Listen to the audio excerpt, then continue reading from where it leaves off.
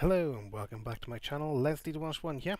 Today we're looking at another landing challenge, this time Quito in Ecuador.